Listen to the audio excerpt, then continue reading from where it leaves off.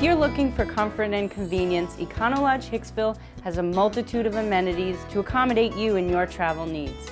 Each newly remodeled guest room has a microwave, refrigerator, high-speed wireless internet access, and flat-screen televisions. Our main entrance is now equipped with an ADA-proof automatic push button. Choose from a room with a king-size bed or two double beds, whichever you prefer.